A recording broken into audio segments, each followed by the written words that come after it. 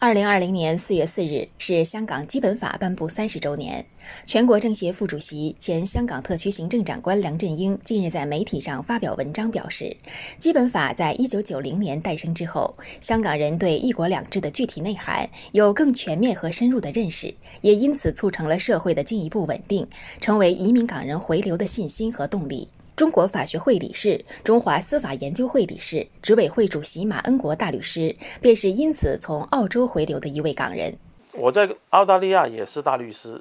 在那边的法律制度的律师制度跟这里的很相似。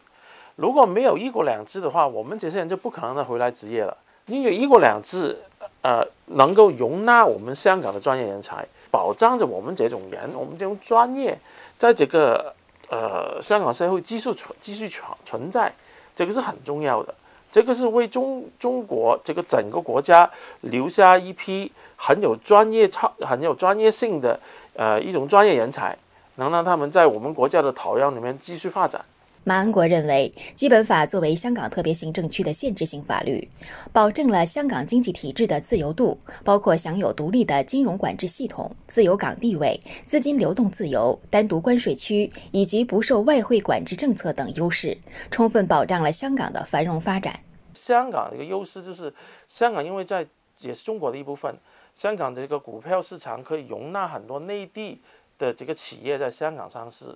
所以。国外的投资者可以利用香港的这个基本法所给予我们保留的这个平台，来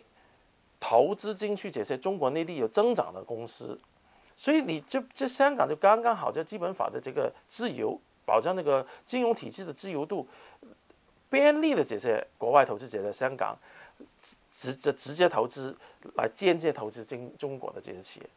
谈及基本法的落实情况，马恩国认为，基本法颁布三十年来，基本已全面落实，但仍有不少别有用心的人士恶意曲解基本法的初衷，歪曲模糊言论自由与国家安全的界限。基本法走了那么多年，我们看现在在政治上所看见的问题，主要就是，呃，港独，主要就是颜色革命。